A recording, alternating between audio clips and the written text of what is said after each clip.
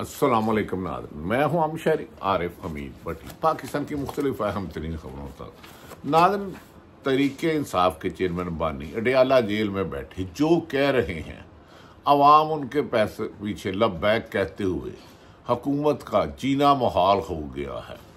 तरीके इंसाफ ने जो मुसलसल जदोजहद जबर, फसादियत का सामना किया, माजी में किसी सियासी जमात की ऐसी मिसाल नहीं मिलती जुल्फ़कार अली भट्टो के दौर में पीपल्स पार्टी ऐसी हुआ करती थी, लेकिन उसके बाद आसफ अली दरदानी ने पीपल्स पार्टी का भी खात्मा कर दिया।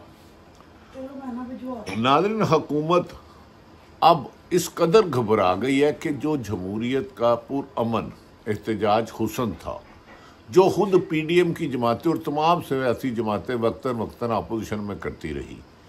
लेकिन बानी पीटीआई ने कहा कि आपने डी चौक जाना, पूरा मन एहतजाज करना पाकिस्तान भर से।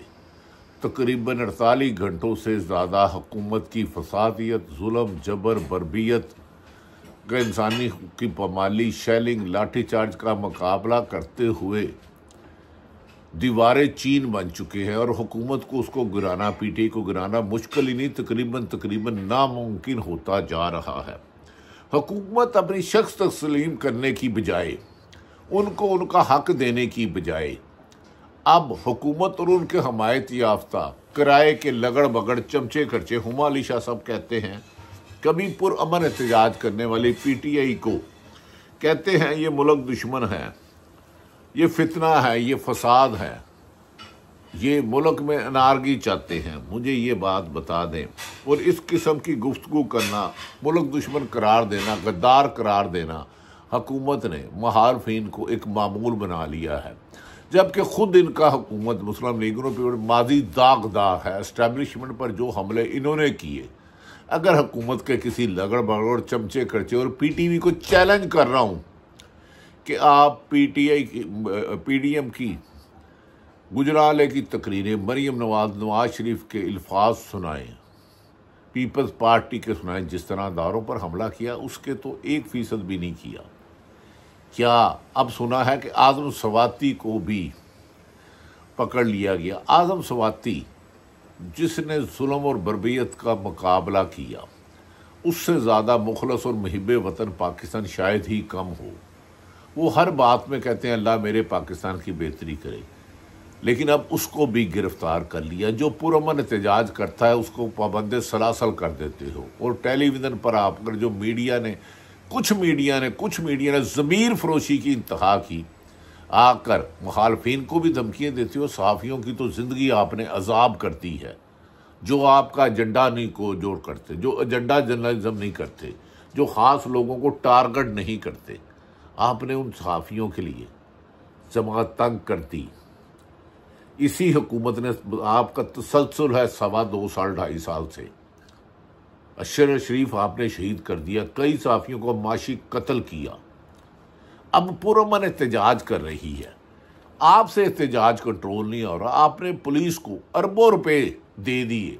कैसे बेशरम लोग हैं जो कहते हैं कि डी चौक में इमरान खां की काल पर एहतजाज नहीं हो रहा। तो फिर अरबों रुपए पुलिस पे इन्वेस्टमेंट क्यों कर रहे हो? करोड़ों अरबों की आँसू गैस इस्तेमाल क्यों कर रहे हो? लाठी चार्ज के जानवर परिंदों पर कर रहे हो? शेलिंग क्यों कर रहे हो? और करोड़ों अरबों रुपए के किराए के कंटेनर लगाकर कई रोज से इस्लामाबाद को महसूस क्यों किया हुआ है? उन लोगों का जो गैर सियासी अपने घरों में बंद है, वो अपने घरों से नहीं निकल सकते। लाहौर में भी तुमने कर्फ्यू लगा दिया है। जगह जगह कंटेनर लगाकर बंद कर दिए लोगों की ज़िंदगी के लिए हुकूमत अजाब इलाही बन चुकी है। ये अल्लाह इस अजाब लाही से हमें निजात दिलाए। ये हुकूमत फिरौनीत और रोनीत की आखिरी हदें भी पार कर चुकी है। आपने शहीद अरशद शरीफ को शहीद किया, हम खामोश। हमने पुरमन मुतालबा किया, गिरफ़्तार किया जाए। उसकी बेवा, जवेरिया, उसकी माँ, सब कहते रहे। साहबी कहते रहे, आपने हमें इंसाफ नहीं दिया। और आपने दर्जनों साफियों का माशी कत्ल किया। कोई एक साफ़ी बात करता है तो आप उसको धमकियाँ देना शुरू कर देते हैं। उसका पाकिस्तान में रहना मुश्किल कर देते हैं। आपने सच बोलना जुर्म बना दिया है शबाज शरीफ साहब, और हुकूमत, आप रोज़े अशर वाले दिन इसका जवाबदेह होगे। इस वक्त आपके पास सरकारी ताकत है। पुलिस है, रेंजर है एफ़ आई ए है नैप है। आप झूठे मुकदमे भी दे सकते हो। इमरान खान को चौदह महीने से आपने गिरफ़्तार किया। उसकी बहनों को गिरफ़्तार कर लिया। और तो और दरताज गुल को बगैर दुपट्टे और बगैर पाँव के गिरफ़्तार कर लिया। यासमिन राशिद बहत्तर साल कैंसर सर्वाइवल गिरफ़्तार कर लिया। आपने एक घर में सौ सौ छापे मारे और घरों में तोड़ फोड़ की पंजाब में। हज़ारों मिसालें मेरे पास हैं। कोई मुनाजरा तो करे, सच तो सुने। जो सच कहता है, आप उसको कहते हो कि ये मुल्क दुश्मन है। और तुमसे ज़्यादा इस मुल्क से मोहब्बत करते हैं। इस पाकिस्तान के लिए जानो माल हमारी एक करोड़ दफ़ा कुर्बान।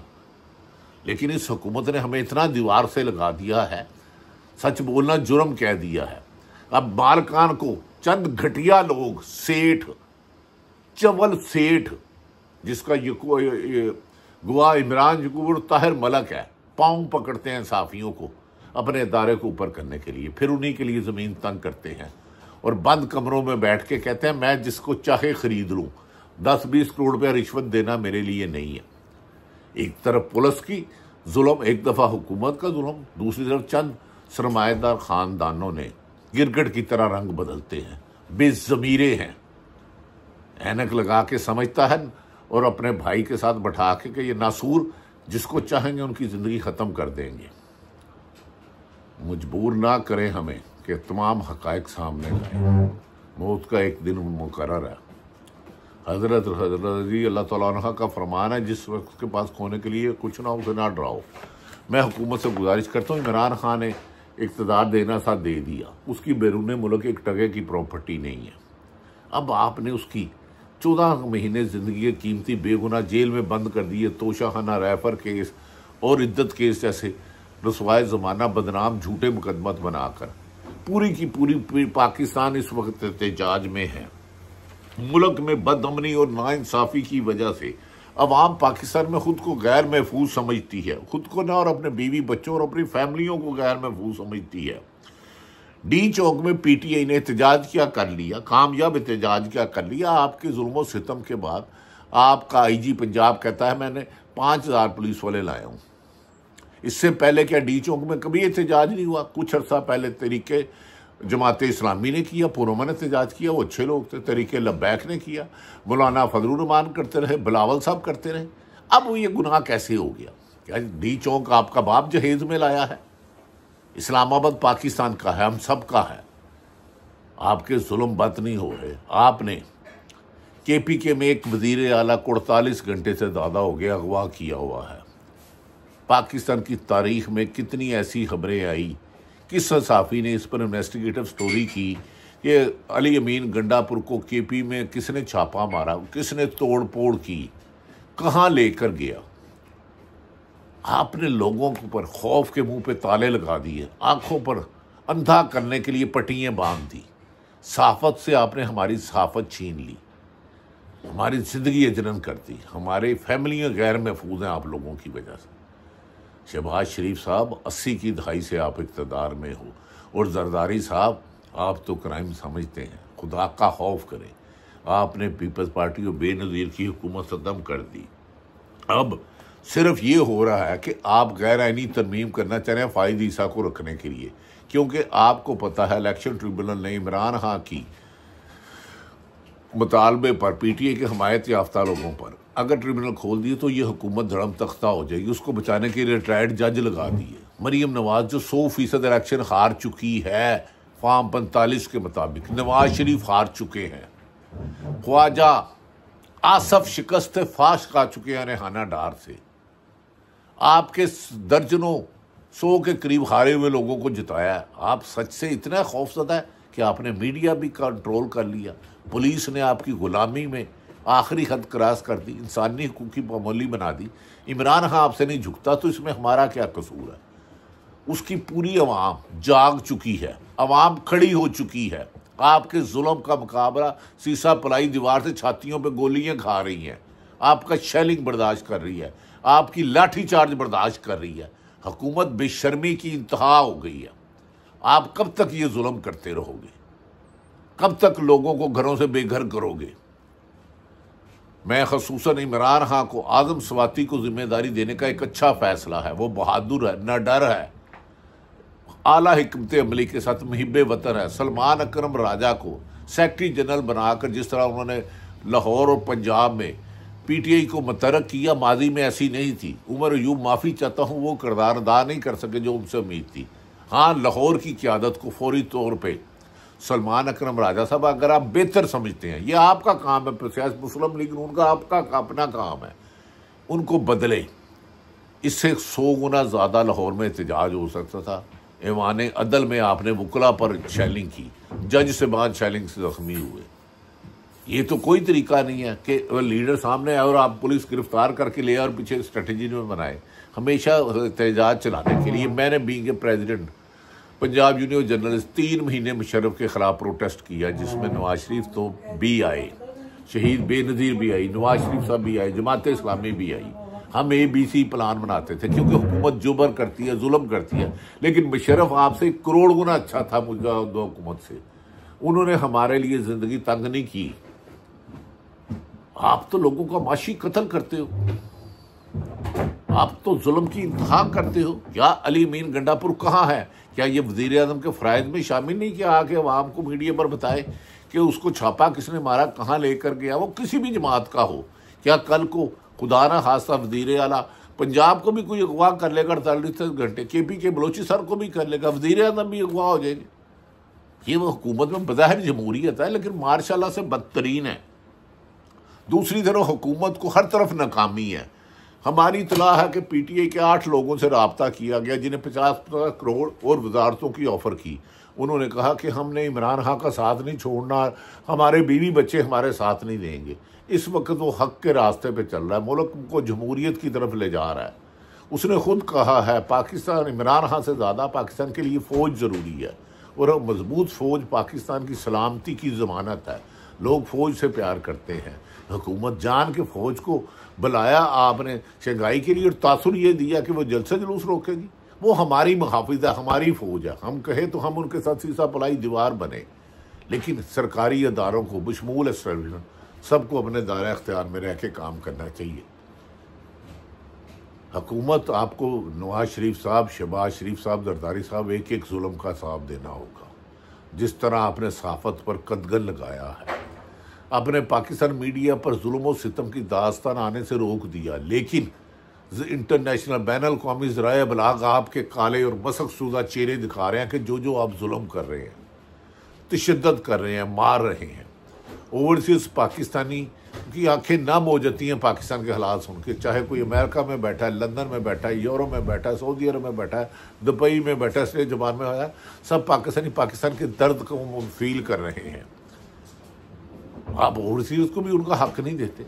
जो आपके खिलाफ तनकीद करता है, आप उसको बागी कह देते हैं और एक सेठ को फ़ोन करते हैं कि, चंद, बेशरम लोग बेशरम लोग, मैं कह रहा हूँ मुबाद पर।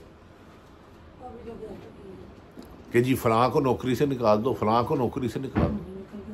जियो एयरवे और दीगर अदारों ने कुर्बानियाँ दी हैं।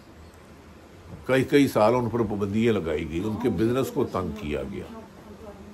लेकिन कुर्बानियाँ देने से जदोजहद आती है। आपने बहुत से लोगों को ऑफेयर करा दिया, नौकरी से निकलवा दिया। लेकिन जमहूरीत को चलते रहने दो। इंसाफ में रुकावट ना डालो। सलमान अकरम राजा, इमरान खान साहब, मैं आपको जेल में एक पैगाम देता हूँ।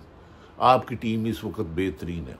आपकी लीडरशिप में कमियाँ भी होंगी और सलमान अकरम और आदम स्वाति जैसे हीरे और और भी लाश तदाद सरताज, गुल और बेशुमार लोग अली अहमद खां और शहरियार अफरीदी और दीगर अच्छे लोग भी चंद गलत भी होंगे। आहिस्ता आहिस्ता उन्हें भी साफ़ करें। उन लोगों को आगे लाएँ जो मुल्क से मोहब्बत करते हैं, जो करप्शन को गाली समझते हैं, जो झूठ को गाली समझते हैं, जो आवाम को हकायक बताते हैं। आवाम को उम्मीद दिलाते हैं ज़िंदा रहने की, लेकिन ज़िंदा रहने की उम्मीद तब होगी जब रूल ऑफ़ लॉ होगा, कानून होगा आइन होगा। फ़ायद साहब, आप चीफ जस्टिस रहे, आपके फैसले। तमाम गाने जो हल्के करे सियात तरीन हैं, जियाउल हक के दौर में, भट्टो की फांसी से ज़्यादा बुरे फैसले कुछ आपने किए। हम आप पर तरकीन नहीं करें फैसलों पर तनकीद की जा रही है। अरशद शरीफ का आपने सो मोटो नहीं लिया। वज़ीर अला के पी पे गायब हो गया। खैबर पख्तूनख्वा के इस्लामाबाद, मीनार पाकिस्तान, लाहौर में और दीगर शहरों में, सब पाकिस्तान का हिस्सा है। पाकिस्तानों के लिए नौ गो एरिया बना दिया, चीफ जस्टिस साहब। आप सो मोटो कब लेंगे? सिर्फ़ सो मोटो उसमें लेंगे, जिसमें बल्ले का निशान छीनना, जिसमें एक जमात को फेवर देनी हो, जिसमें कुछ लोगों को नवाजा ना जाना आइनी अदालत के नाम पर गैर आइनी हरकत किया जाए। दस तारीख तक हुकूमत हर हाल में पी टी आई को दीवार के साथ लगाना चाहती है, ताकि असम्बली से खरीदो फरोख्त गैर आइनी के, इस गैर आइनी तरमीम को रोकने के लिए अवाम बाहर निकली है ये अंदर नहीं जाएगी। आप कितनी जाने लोगे? मत करो इंसानों पर जुलो इंसान अशरफुल मखलूक है। दौलत और ताकत का तकबर आपको इंसान से ज़्यादा, जानवर से बदतर कर रहा है, जो भी ालम है। मैं किसी एक शख्स का, सियासी जमात का नहीं ले रहा। तकबर उस ालम की इबरतनाक सज़ाएँ अल्लाह ताला ने मुकर कर दी है। हमें यकीन है कि इमरान खां का प्लान भी तीन रोज़ बाद आएगा, उसके बाद हुकूमत के नाकों से, आँखों से कानों से धुआँ निकल आएगा अल्लाह ताला पाकिस्तान का हामी और नासिर हो। पाकिस्तान ज़िंदा हो।